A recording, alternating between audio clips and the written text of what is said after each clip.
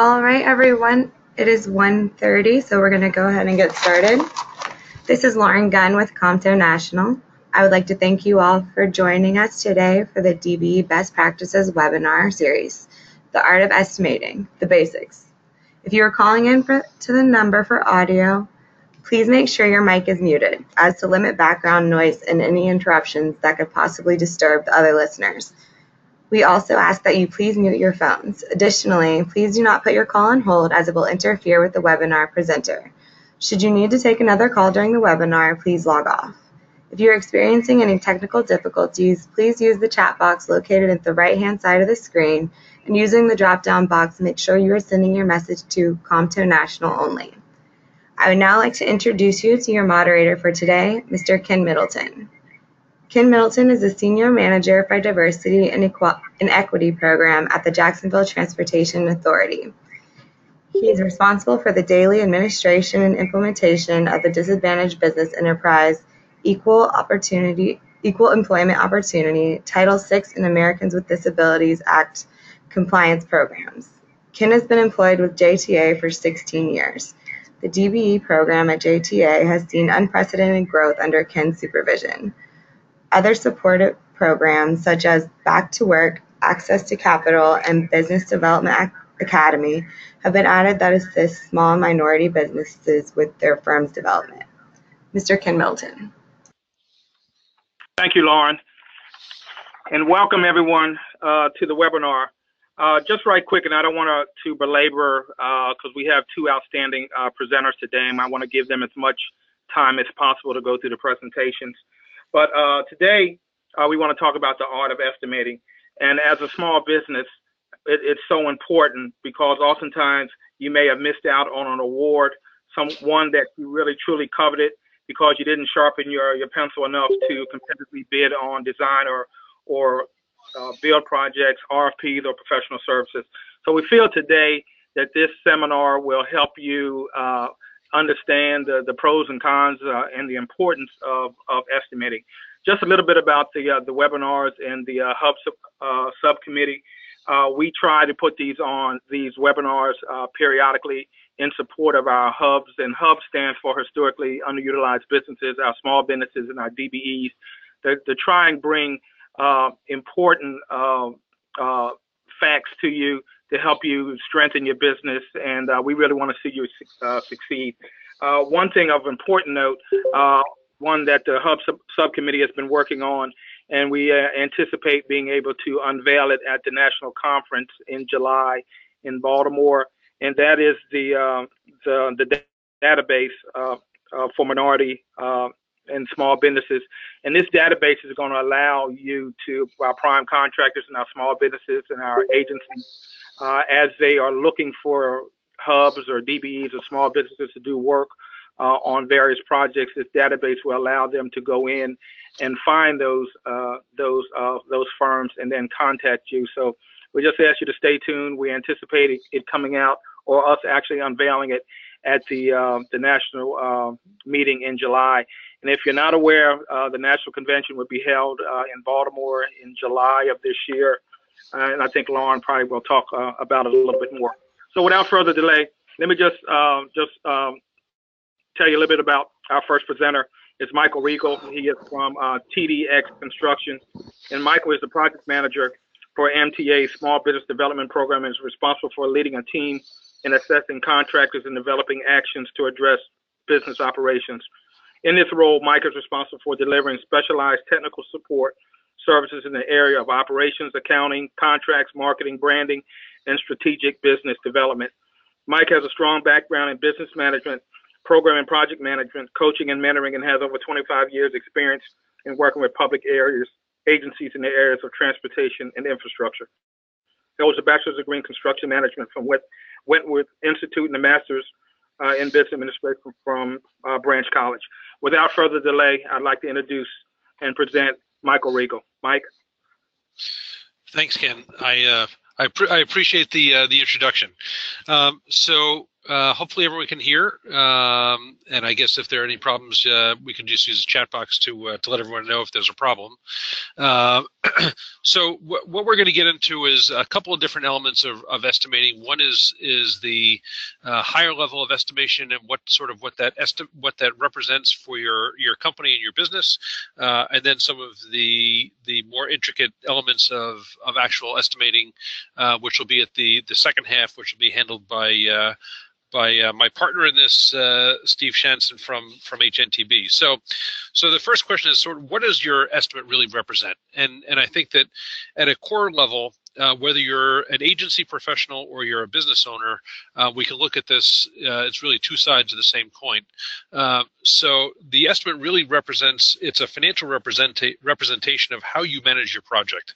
You know, it really takes your thought process of what this project is going to entail and turns it into a you know it, it looks at it from a financial perspective. Um, so really it's it's uh, how do you uh, assess this project uh, what your resources are um, and and really takes into account a full understanding of your scope of work uh, now, if you're a contractor, um, I, I, and I work with contractors on a daily basis, uh, I hear it all the time. Um, I'm going to bid this project low because I know that the agency missed something in the in the specs and the drawings, and I'm going to make make up my my money on the on the change orders um, and it is in, invariably it's the one thing that we caution our contractors against doing because you may think they the agency has missed something um, and it's and it very often comes into a, uh, an, an area of interpretation. So um, we are you know frequently cautioning contractors uh, against that kind of a perspective. Uh, and if you're an agency perspective, uh, if you're an agency professional, you know it's the you know you want to be mindful of that as you are putting together your the project plans and specs um, to make sure that they they are complete and accurate uh, because it's better for you and it's better for the contractors who are going to be bidding on the project. But that estimate really really represents you know the full understanding of that scope of work. Um, so if you think there's something missing, uh, you want to ask the questions because better better to have a a uh, fuller understanding um, than uh, than trying to uh, to sort of wing it as you're as you're putting the estimate together and trying to get into the head of the of the agency uh, staff uh, that, that's putting it out for uh, putting it out for bid. Um, it also represents what your what your planned cash flow is. As a small business, uh, any business really, but uh, as a small business, cash flow really becomes very uh, very critical when you're taking on a, a sizable project. you want to make sure that you've got enough enough cash reserves to cover you until that first that that first payment gets gets paid. Um, and you know we're going to talk a little bit about uh, different agencies, but you know conservatively you want to you want to plan for 120 days before you get paid on your first uh, on your first requisition for some companies that is that would represent a significant uh, a significant hardship to try and carry the labor and everything else that goes along with it for the first 120 days. So um, that estimate needs to start to take into account uh, where's the cash coming from and when is it going to come uh, because that that will dictate uh, very often your ability to be successful uh, with that project the estimate also takes into account your assessment of overall risk. You know, so where are the pitfalls in this project? Uh, are there long lead items that you need to take take into account uh, when you're putting that estimate together? Um, and where is the where are the potentials for going over budget? Where are the potential for running into financial difficulties? Uh, and that uh, a well a well developed estimate is really going to start to to uh, pull out those issues uh, and get them out on the table expected profit margins, uh, and we're going to talk about profit um, with with some greater detail in a, in a minute or two. Um, but expected profit margins. You know, what what is your expected gross profit going to be on this project? Uh, I I talk to contractors on a regular basis, and it is the cautionary tale of saying I'm going to make 20% profit on this project. Uh, and when you ask the question about where's the leakage going to be, where are you going to start to erode that that profit margin, um, everyone is, expects that they're going to the profit margin they go in with is what they're going to achieve at the end. Um, couple of things. One is very few uh, contractors are really they get to the end of a project and they're done and they don't want to look back. The lessons learned associated with what was the expected profit margin versus what was the actual profit margin that they achieved and where was the what were the factors um, that uh, created the differential and there in general there is you're, you're not going to achieve what you expected um, but hopefully you were you were having profit at the end of the project um, that that ability to estimate the project and estimate what your profit's going to be, and then be able, be willing to look back and say um, what happened on this project and where did where did my profit go um, is uh, is a very important uh, exercise to go through. And then the last piece is um, the estimate represents your your broad philosophical approach to your business, right? So, um, as I was mentioning about change orders, there are some contractors who go into go into a bidding process and say, "I'm going to low bid this project because I want to get the project and I'm going to make it up on on change orders. Uh, there are some contractors who are going to say I'm going to low bid this project because I need to I need to keep my labor working. I don't have another project for them to go to, and I and I'm willing to take a lower profit margin uh, to secure this project in order to keep my labor working, so I'm not going to lose my labor. Um, but that's the philosophical approach. So when you're putting your estimate together, you want to start to really think about what are you trying to achieve? How are you going to achieve it? Um, and, and what are the what are the performance metrics that you're going to be able to manage um, as you're going through, uh, which is which is going to be instructive because you want to make sure that as you estimate the job, you're estimating the job. Hopefully, you win the job. You're going to manage the job, and then you're going to look back and do your lessons learned, and it really becomes very much of a feedback loop. Next slide. Um, so as I said, um, you know, sort of the the think think of profit first, right? You want to put your profit up front and make sure that you are taking into account um, what you want to what you want to achieve, right? So this is this is a little bit of a project management philosophy as much as it is an estimating philosophy. Um, invariably, contractors are very good at, at estimating the quantities, uh, the labor, um, because that is the that is what comes naturally to contractors, right? This is what you live and breathe uh, every single day. Um, the the place where where contractors often often run into problems um, is not estimating is is estimating the the costs beyond the the quantities and the labor associated with it. Um, so things like mobilization up and upfront costs, um, you want to make sure that you're taking into account, you know, what are those long lead items? What are the costs that are going to be associated with this project um, upfront that an agency uh, may be requiring? And we're going to talk about the agency perspective and the reporting requirements uh, in a minute or two uh, scheduling, uh, what are you know the the baseline schedules, the schedule updates, and those kinds of things, which are uh, going to be built into upfront costs to make sure that you have a baseline schedule that's approved by the agencies. All the other submittals that have to that have to be provided um, in the in the public sector contracting world, um, if you are an agency professional, right, you understand the idea of MWBE utilization plans, uh, DBE utilization plans if it's federally funded. Um, from a contractor perspective, this is, you know, very often the, you know, one of the areas that slows down the process um, and starts to add cost to a project that are sometimes unanticipated. Bonding. Um, your bonding costs for this project should be included in your estimate right? So if an agency is requiring you to have bonding, um, those bonding costs should be built into your estimate because that should be coming out of the project cost and not out of your the bottom line of your company. So I want to I want to emphasize that bonding and insurance, and I sort of put them in the same category, um, associated with that project should be built into the estimate for your project. Um, and there's a number of ways of doing that but but i just want to highlight the fact that you don't want to exclude those costs and you get to the end and you go oh i need to have bonding but i didn't include it in the estimate but it's already my estimate's already in and an agency says that that is you know that's on you it's not on us. So um, very important to consider that upfront when you're putting your estimate together. Uh, equipment and facility rentals.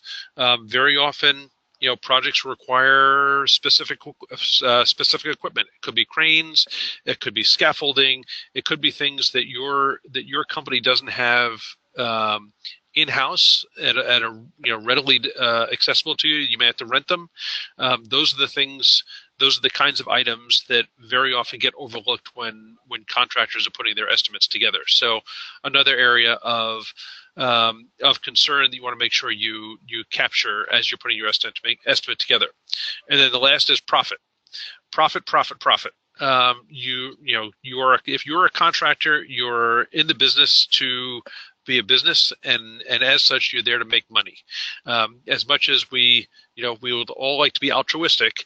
Um, you're in it for for the profit motive. Um, otherwise you would be sort of you would be a nonprofit. Uh, uh, so make sure that you are incorporating your profit and you're incorporating a profit margin which is commensurate with the kind of work you're doing um, and is and is in line with what the uh, what the market will bear. So uh, if the market is you know if a particular agency, you've done work with a particular agency and you see that on a regular basis you are able to get 20 to 25% profit, um, you know, going in at a 15% profit margin is not going to be the the wisest decision to make.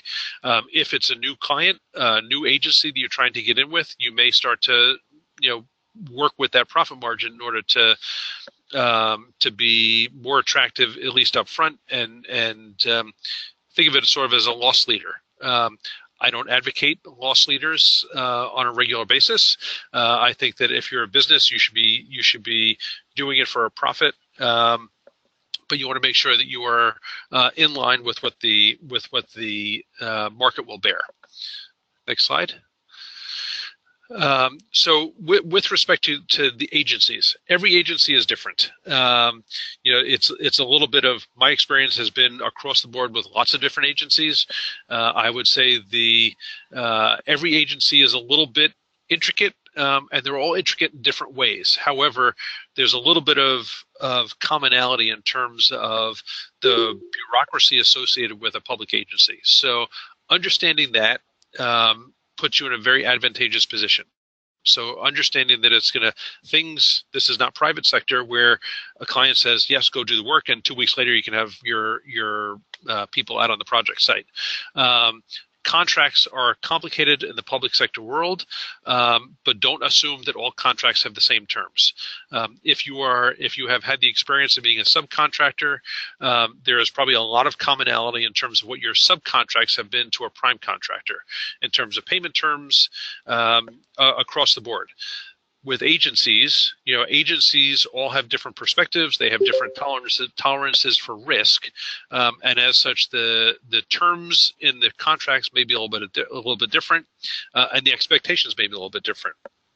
So, from a general conditions perspective, you know, safety um, you know, there's if I have agency professionals on the line here, uh, they will all tell you that safety is is is their number one priority. Everyone goes home the way they came to work, um, but how you manage that safety uh, within the context of your project and how you estimate your project from that perspective is going to vary. So I will tell you from a from the perspective of the at the MTA and within the mentor program we have, every project requires you to have essentially four roles on that project site. You need uh, a project manager, you need a quality manager, you need uh, a safety manager, and you need a site superintendent. However, we will, in our case, we will allow you to have um, two people wear essentially wear two different hats. So generally, the project manager uh, is the uh, is the quality manager because they don't require you to be on site full time, and the safety manager and the site superintendent are the same person because they do require you to be on the on site at the same time. So how you start to manage those um, those roles and those estimates, which are really all part of the, your general conditions, um, is going to dictate how you start to figure out where the costs are and how do you start to manage them from an estimating perspective.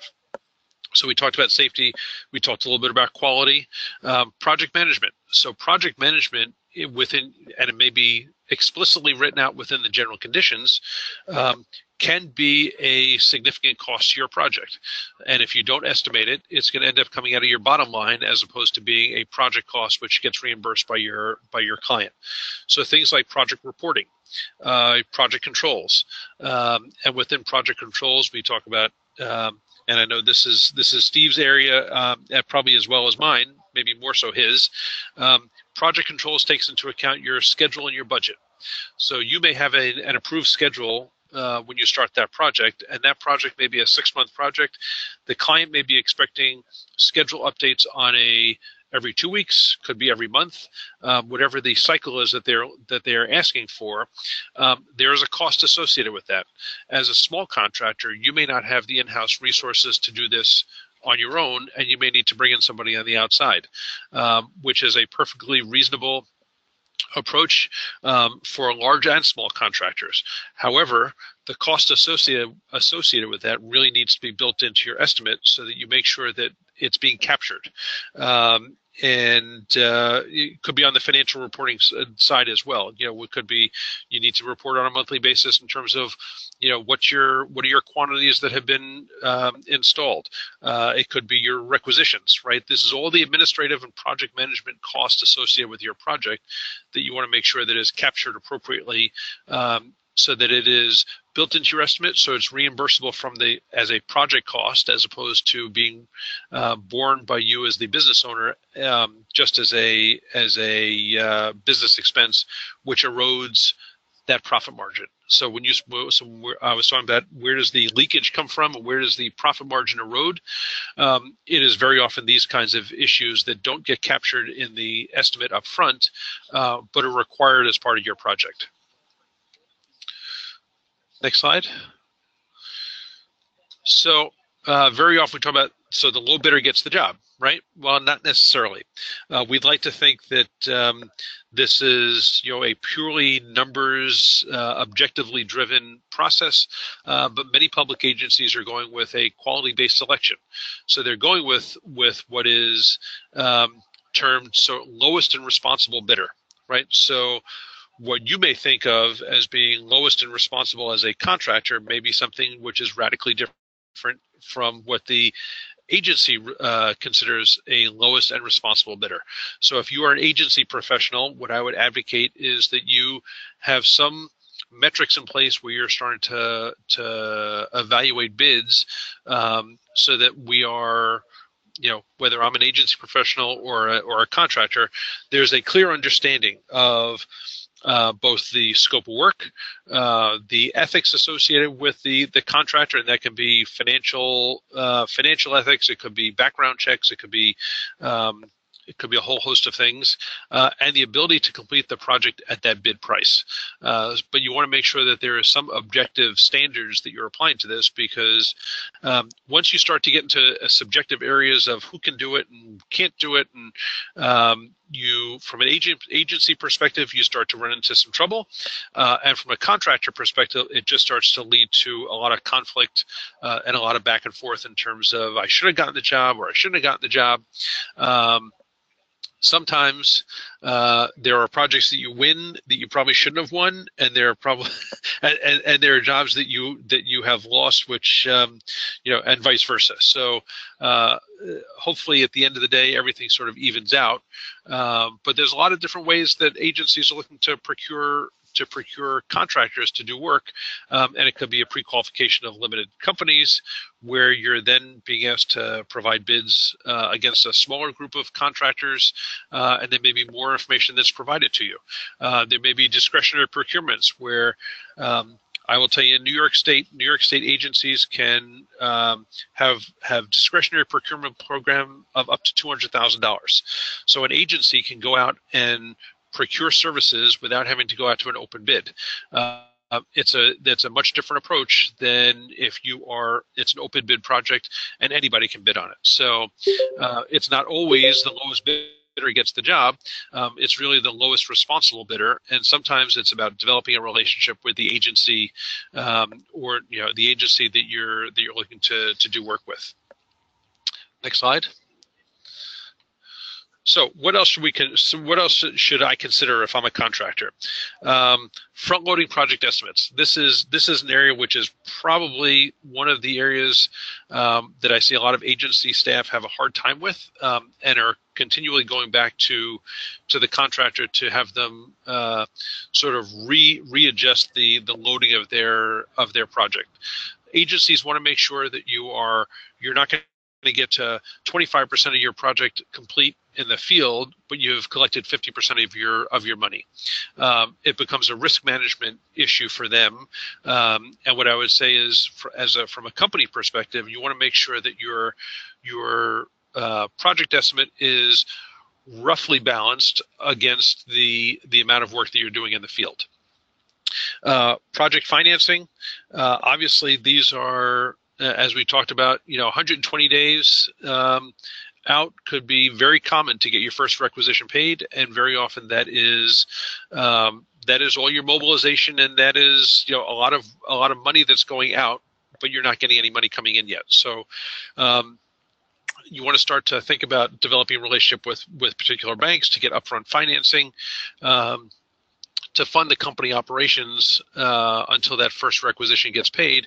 And generally, once you get into that cycle, um, when I when I work with contractors, I am always advocating that requisitions go in on a regular basis. So if you are, if you can get into that habit of being um, diligent and submitting requisitions on a monthly basis, you know, first of the month you have a, a, requisition going in.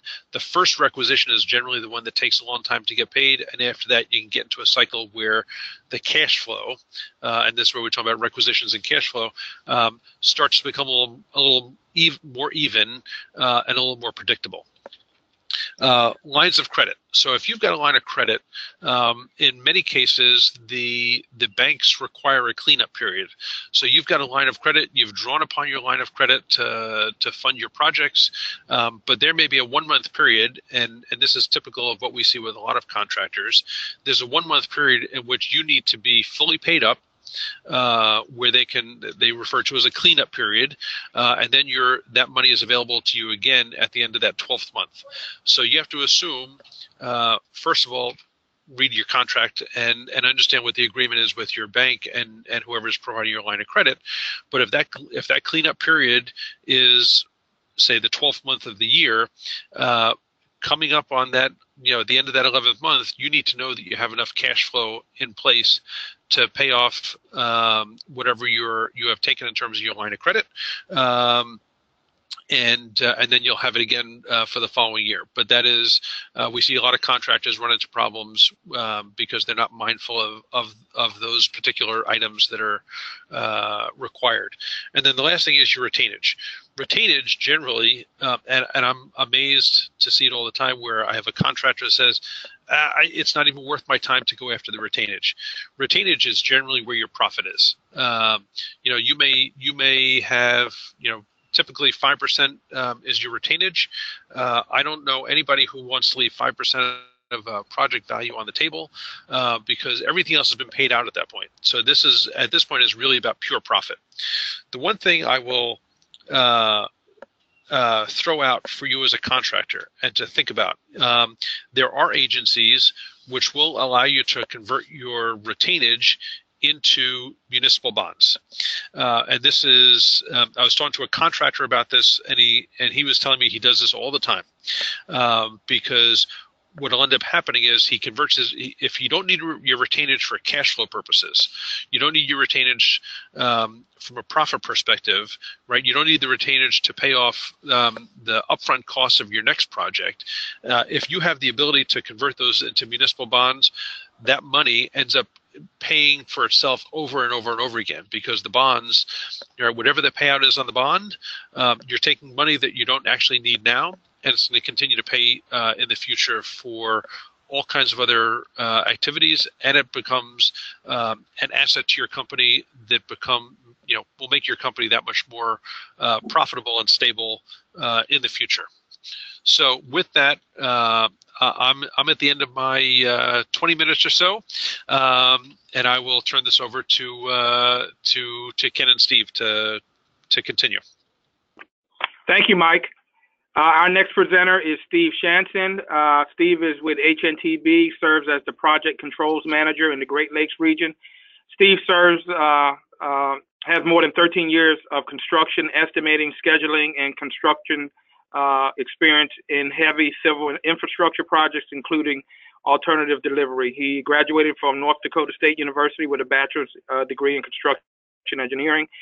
Steve has st- strong construction background and experience ranging from site supervision, field engineering, estimating, to design build coordination on various types of projects, including uh, interchanges, bridges, math, mass, earthwork, and rail projects. His role uh, on large scale complex projects have provided a depth of expertise in construction delivery, operations, and management. Steve currently serves in many key roles uh, in cost estimating for HNTB. Steve? Thanks, Ken, and uh, thanks, Michael, for kicking it off there.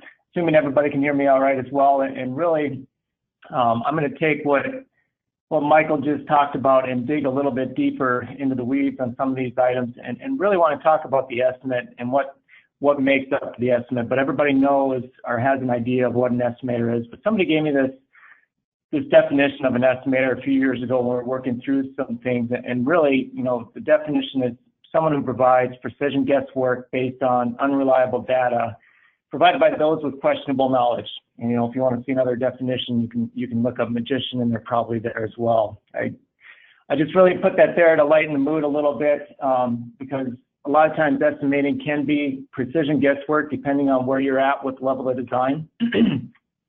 um, but I do want to talk about it. We can joke about it, but in all seriousness, in all seriousness, we need to remind ourselves, you know, the estimate is essentially the basis and the foundation for success on the job that you're pursuing.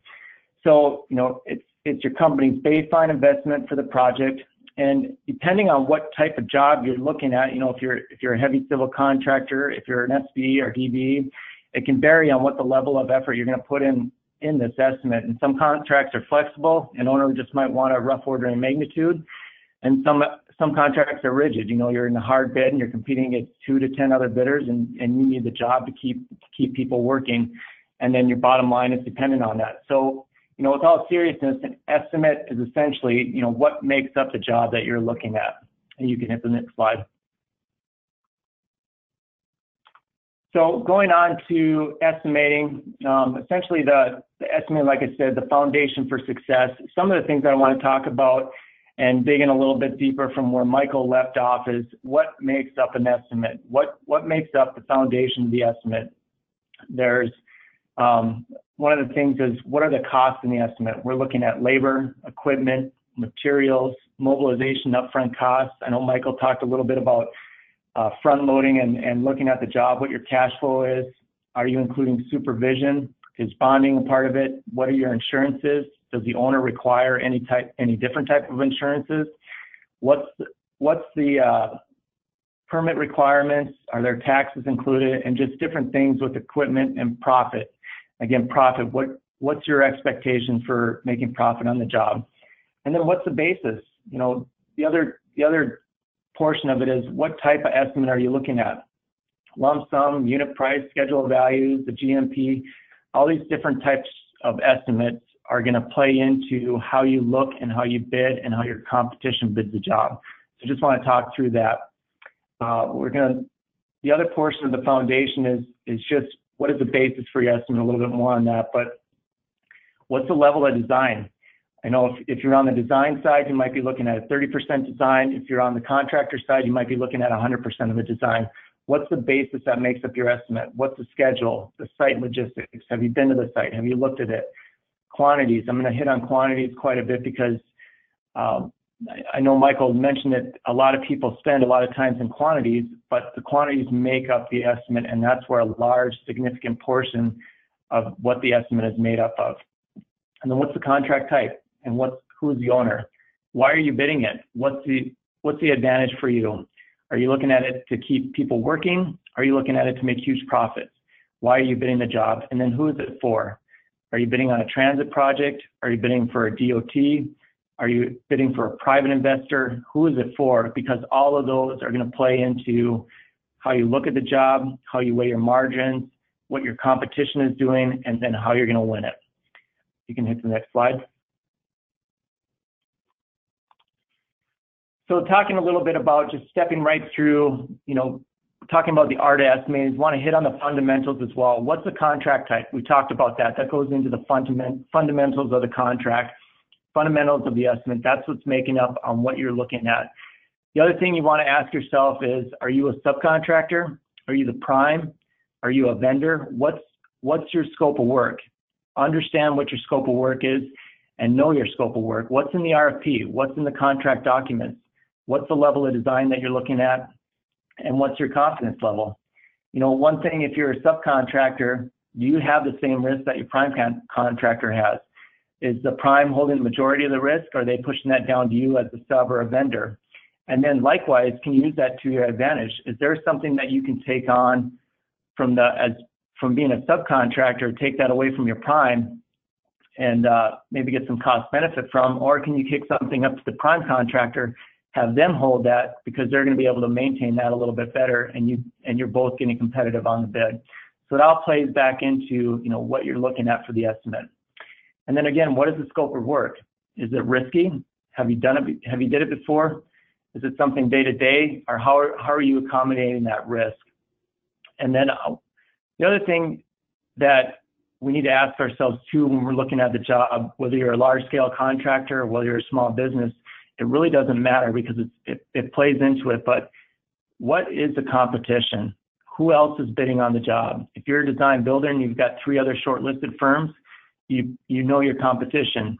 If you're a, a hard bid contractor at 100% of design, you can look at the plan holder list. You might have a pretty good idea on who's bidding the, bidding the job, but understand who's going after the job, understand what their capacity is, understand what your capacity is, and how is that going to play into how you're going after the job. You know, if if you got a competitor that's extremely hungry, they might not need a huge margin to go after the job. They're they might be in a position where similar to yours, maybe you're just looking to pe- put people to work, or is it in the other scenario where they've got a ton of work, they don't want to get any more work, but they're not they're not going to pass up the opportunity to bid the job and they're going to put a 30% margin on it. You need to understand what your competition is doing and then uh, go after it accordingly. And you can hit the next slide. So talking through that, understanding what are the costs, and I'm not going to talk a lot about this, but just it goes into you know the basis for the for the estimate. You have labor, equipment, materials, mobilization, upfront costs. You're going to have supervision, bonding, insurance, permits, taxes, dues, understand what, what the labor costs are. You know, what's your equipment costs, facilities, rentals, what's the profit? Understand, you know, again, back to the profit factor, and I know Michael talked about this quite a bit, but understand what the profit is, understand what your competition's profit's going to be, and then understand what yours needs to be. And one of the things you'll probably see quite a few times throughout the rest of these slides are risk, because risk plays into this, and how you're managing that in your estimate is going to help you either win or lose the job. Or if you win it, it might depend on if it's going to be a good job or a bad job. You can go ahead to the next slide.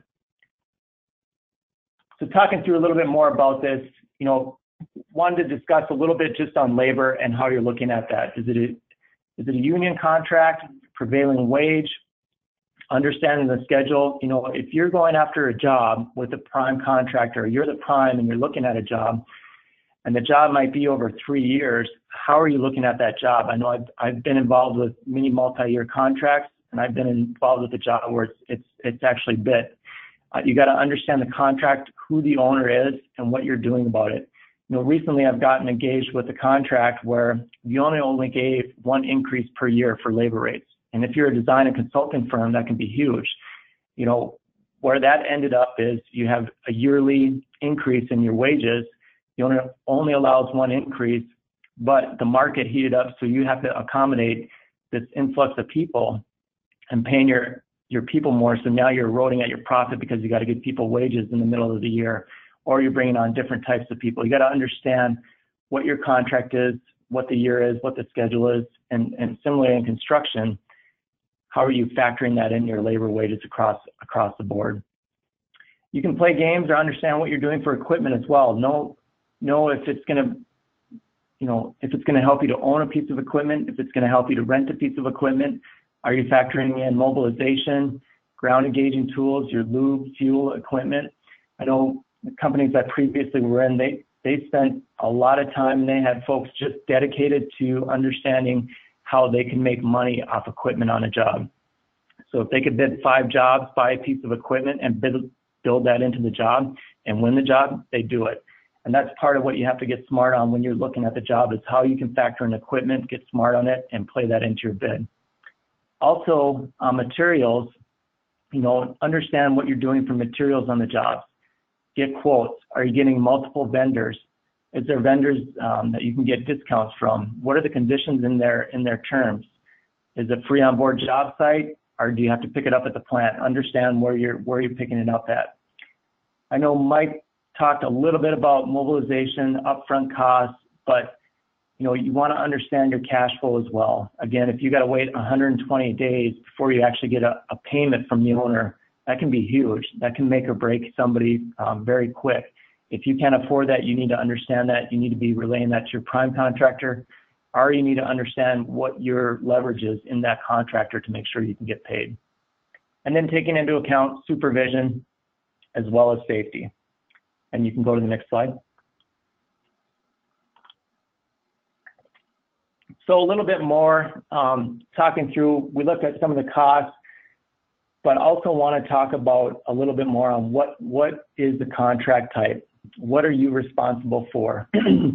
because everything that you're putting in this estimate is based on the contract type.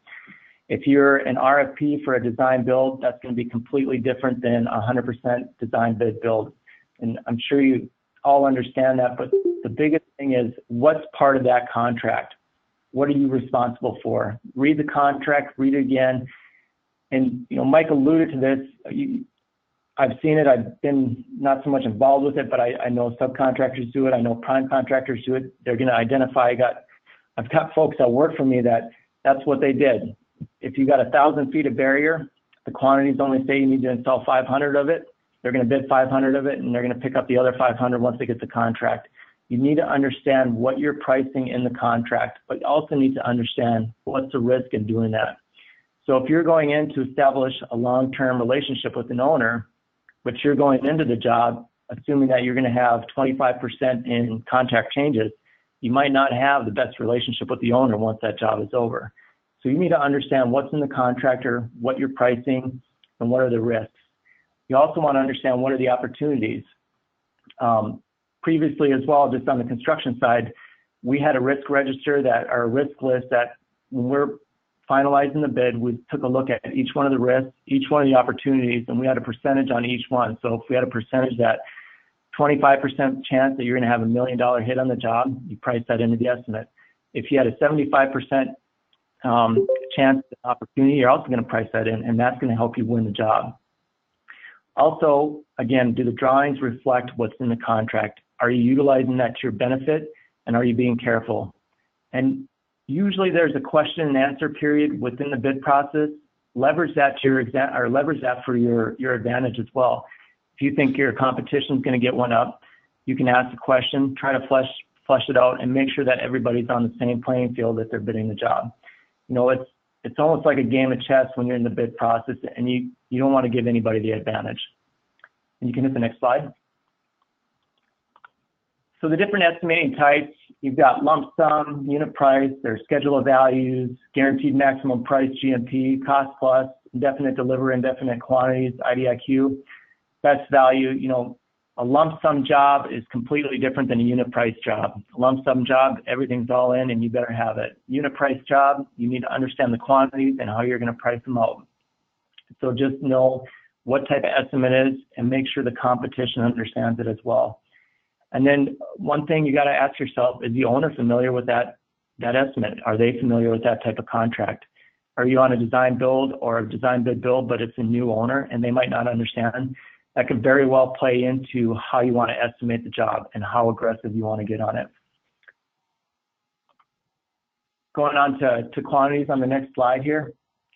And one of the first things when I started out in the construction field, in fact, I think it was maybe the first month or two, they drilled, it was drilled into my head, quantities, quantities, quantities. And I know Michael talked about it, and this is where a lot of the focus is, but you need to understand the quantities because the quantities make up everything on the estimate.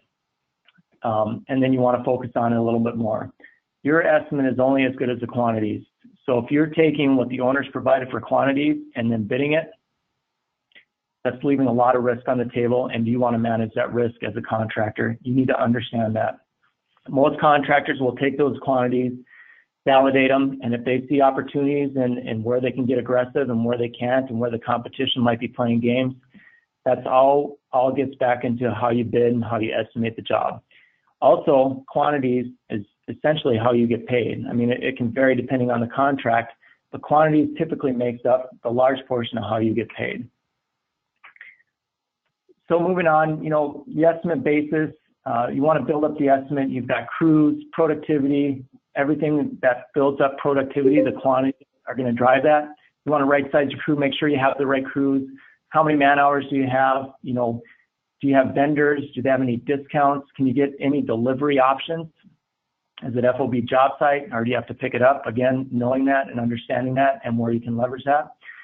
You know, one of the things for subcontractors, if it's a subcontractor to you or if you're subbing out to a prime, don't forget you may need support or somebody may need support and are you estimating that in the job? You know, I I've done quite a few bridge estimates and I've been involved in a few jobs where folks have missed that rebar tiers don't just show up on a bridge deck with a crane. The prime contractor, you know, provides that, that hook for them. So you have to understand what the subcontractor needs. And then again, how can you team up with them, get aggressive and win the job and then win it right? also staging, phasing, waste. Can you optimize things? Can you look at recycling formwork? Can you do something different with sidewalk? Is there is there ways to get aggressive? Is there ways to to look at that job and win it? and then review the estimate. What's at stake? You know, are you a single a single owner that owns your own business? Is it is it something that could potentially bankrupt you? Are you an executive at a firm? I mean, what's what's at stake with this estimate? Uh, another thing that's done quite a bit in the industry, especially on larger jobs, is you'll have a shadow estimate or a comparison estimate. This might not be done um, a lot with some smaller contractors or if you're an individual owner. But if you're looking at a large size job, a lot of times you'll have an actual shadow estimate or a comparison estimate where you'll have somebody internally providing an estimate or somebody like a JV partner if it's if the job's large enough, they're going to put together a complete separate estimate to make sure that when you're going after this job that you're not going to leave something on the table and either one risk losing the company or or two buy the job and then have to build it. And then quality, you know, I just want to hit on we, we talk about all these things in an estimate, but quality is not just design. Quality is not construction or the, the surface of a concrete slab. I mean, your estimate is a baseline for success and, and you need a quality product. So moving forward a little bit more, um, the estimate, understanding what the schedule is. Um, I know Michael indicated I do a lot with project controls. That's where I'm in right now with, with HNTB and do a lot across the country, but how long is it going to take to build a job? Do you need 10 crews? Do you need one crew? What's the productivity? Can you right size it? Is there any opportunity that you can get with the prime or that you as a prime can stage or phase the job differently so you can get a, a, a one up on your competition? And then schedule. I mean, you should have one as a contractor, and if you don't have one, you need to build one. Know what your competition is doing, understand the site logistics, you know, in the design build world, we said, you know, build a better mousetrap, understand the job better so you can bid the job better. And then if you're a prime and you've got a subcontractor, you need to make sure that they understand the schedule as well, because if, if you're doing 10 mobilizations in and out, they need to understand that as well. You know, I've, again, going back, if, if you're providing fencing on a job, but you have to mobilize in and out 20 different times, that's completely different if you get the whole job at one time. So you need to understand the schedule and what goes into it. And with the schedule, you know, have a plan. Really, I, I the, the next slide here, I have why are you pursuing it? Have a plan. You know, nothing goes as planned, and then have you plan for it. And you can kick to the next slide, Lauren. uh, the photo on the next slide here actually just kind of threw it in there, but the one over to the right, you can see all these rocks in the road and it looks like it's mass chaos, but actually this was a planned shutdown of a major roadway. We blew up part of the hillside and it fell down into the road, but it was months and months of planning. And really why I'm saying that is, do you have a plan? Are you building it per the plan? And then you have to understand as soon as you estimate estimate the job, the plan is going to change. But that that estimate that bid that you're putting together That's your first plan at building the job. So you need to understand it and you need to factor that in. I can't I can't emphasize can't emphasize that enough. I mean, you only want to be so much of a magician. The rest of it you want to base off education and facts. So you can hit to the next slide. So a couple of things, just more in the in the philosophical side. Why are you pursuing the job? Um, I know we we talked about this a little bit more, but really want to emphasize it. Why are you pursuing it? What's your capacity as a contractor? I've been with a firm where we've got a job, and the sole reason that we went after the work is we had to put folks to work. So when we went after the job, we got on the job. I said, okay, here's the estimate. Here's what it was based on. We essentially bought the job but we weren't there to lose any money. We were there to build it. So why are you bidding the job? Are you out there to make huge margins? Does your competition allow you to make huge margins? Do you have an owner that allows you to do that? There's certain jobs out there that, that can have decent sized profit margins, but it's a completely different industry. But you need to understand that and you need to know what you can leverage. Um, you know, is there competition hungry? One of the things that, again, I, I just want to hit on there is a lot of emphasis, even from my side working in the construction field, is your side, you're continually sizing up contractors, even when it went to knowing who the owner was, knowing that if they were meeting with the owner, a debrief, an interview, you'd go up, you'd drive up, you'd see who was going to the interview, who was leaving the interview, who was talking to them, sizing up your competition, understanding what they're doing, and knowing what's going to give you that advantage to winning the job. Why are you pursuing it? Is it a favor for the owner? Can you put some additional markup in there? You know, like Michael said, you don't want to, you don't want a loss leader, but are you trying to break into a market? These are things that you really want to ask yourself when you're looking at the job. And then who is it for? Um, that's one of the things you just need to be aware of and aware of what your competition is doing as you're looking at the job. You can go to the next slide.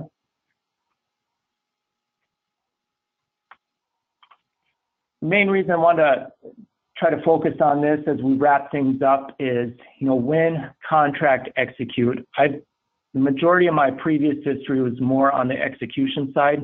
So a lot of times I would get a bid that was put together, we'd get on the job and we would have what the estimator bid the job with. We'd say, here you go, here's your estimate, here's the job, go bid it and build it, you know, with what we estimated it for. But your estimate is essentially the baseline work plan for how you're going to build the job. And everything that you do to bid another job is going to be based off the current job you're building. So what you want to do is make sure, you know, just tools of the tools in the industry, uh, tricks of the trade, understand your costs, manage them, track them, know them as you go through the job because this job right now that you're working on, that's going to be how you bid the next job. And if you can have good, accurate historical costs, to understand how you're going to attack the next job. That's going to set you up. That's how it's going to put you ahead of the competition. Understand why you track costs, know how you can leverage that to win the next job.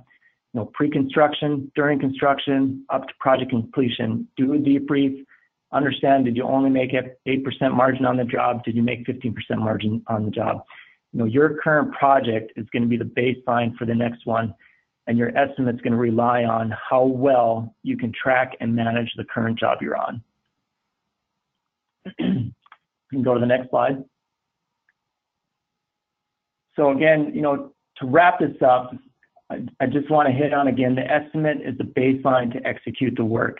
So it's only as good as the amount of investment you put into it. And then you want to build what you contracted. If you're estimating a job you're not doing it just to go put it on the shelf, even though that does happen sometimes. You want to take that estimate and you want to be able to set up a plan to build that job based on the estimate. So build what you contracted. I guess with that, you know, hopefully you can hit the next one here, but hopefully that helps, you know, give an understanding and set yourself up for winning the next job. Uh, Ken, I'll give it back to you for any questions. Great. Uh, Steve uh, and Mike, we do have, uh, based on the, uh, the chat room, looks like there are two questions. Uh, do you, can you see them, Steve and Mike? Yeah. Don't know that I do. Okay. Okay, let, let me go ahead and just read them uh, for the interest of time. the first one is from Terrence. besides the estimator, are there any other team members who should work with the estimator to develop a comprehensive bid? Sure, and Wanna take- you maybe wanna I'll take take that a stab at this. Yeah, absolutely. So whether you're, you're a single owner and you're doing this on your own, or if you're working for a large construction company, absolutely. The estimator is not the only one on the job. You want to be talking to project managers, you want to be talking to vendors, you want to be talking to subcontractors, you want to utilize project managers that are out in the field now. A lot of times you can bring in a superintendent or even a key foreman and pick their brain. Um, but you you don't want to do it alone. It goes back into providing a quality estimate and even doing a shadow estimate.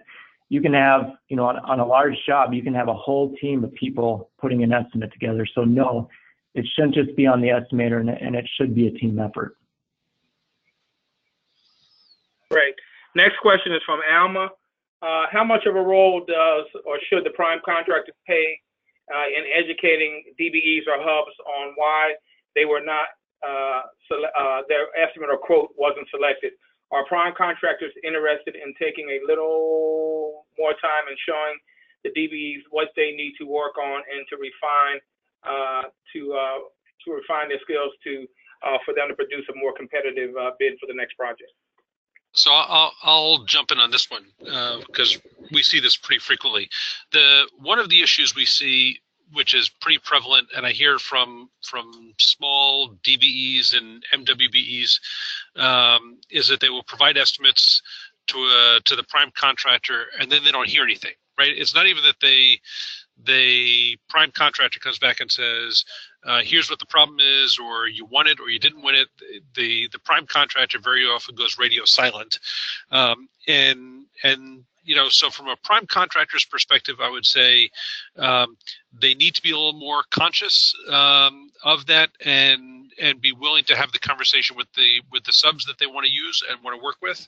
Um, and what I would also say is from a from a subcontracting perspective, um, it's about developing a relationship. So if you're a subcontractor and, you provided a, a quote or an estimate to a prime um, a couple of times and you don't seem to win or they don't respond or right they're tough to get on the phone um, this is probably not a prime contractor you want to start to develop a relationship with because the way you start a relationship is the way you mean to go on. So if a, if this is the kind of service and and and communication you're getting with a prime contractor in the beginning, um, it may be very difficult when you're trying to get your requisitions paid. You're trying to find out about payments, um, and they're ducking your phone calls. So. Um, but yes, from a prime contractor's perspective, I would say um, if you are a prime, um, take the extra time. Have have the the conversation which may take a few minutes with a with a subcontractor who's given you a bid um, and explain to them you know perhaps why they didn't why they were not uh, selected. Um, it's going to be better for them and it'll be better for you. Uh, it'll help them grow their business and understand um, what they may may or may not have missed in the in the estimate, uh, or they were overestimating things. Um, and from your perspective, if you can get them to be uh, more competent and and dialed in a little bit more, um, you're going to be able to to develop a, a sort of a roster of preferred subcontractors who you know you can go back to on a regular basis and and get quality estimates that are going to be um, useful going forward. Great, thank you, uh, uh, Mike and Steve. And I just, on behalf of the COMTO Hub Subcommittee, I'd like to thank you both for this uh, often uh, overlooked topic, but one that is so critical uh, when it comes to uh, being successful on, on on bids and and awards. Before I turn it over to Lauren, I know there were a few that may have got on after I had talked. I just want to just reiterate that uh, the the Hub Subcommittee is in the final stages of uh, the much anticipated uh, COMTO and Minority Small Business Database. We anticipate unveiling that uh, at the uh, the national conference. National conference will be held July 28th through August 1st in Baltimore, Maryland and this will be the 47th National Meeting and Training Conference. We're anticipating a huge turnout. We're really excited. There's going to be a, a bunch of, uh, of information uh, for our hubs, uh, a lot of conferences and workshops that would be be, be beneficial if you can attend. I encourage you to go on to the COMTO website. That is www.comto.org uh, to get more information about the uh, national training. Uh, with that said, I would like to go ahead and turn it back over to Lauren. Hi, Ken. I don't have anything to add at this time. Um, Terrence, I think that you have one more slide. Yeah, well, uh, Ken has already uh, uh, stated that. I thought it was a very informative webinar. My name is Terrence Hicks, and I'm the chair of the um, COMTO Historically Underutilized Business Subcommittee. I'd like to urge uh, all those that participate on the line, and even those that haven't participated that are within your network, to contact them and let them know that COMTO is working for them, and we are uh, doing great things for the small business. Um, networking or the small business arena, and, and I urge you to become a COMTO member. Uh, in addition to that, I want to just to thank uh, a lot went into the development of this webinar, which I felt was very well done and very informative. And I just want to thank all of the COMTO Hub subcommittee, but most of all, I wanted to thank Ken Middleton, Michael Rigo, Steve Shanson, and Lauren Gunn for participating and helping to bring this to a successful end. Thank you.